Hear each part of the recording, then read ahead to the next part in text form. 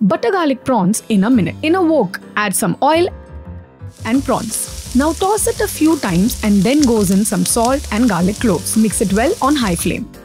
Then chop some garlic and mix it well in the wok. Let's add butter, chop some parsley and add it to the mixture and toss it again. Now add some water, chili flakes along with freshly ground black pepper. Next, take some cornstarch, dilute it with some water and add it to the prawns. Finally, goes in the lemon juice and serve hot on a platter. And there we have our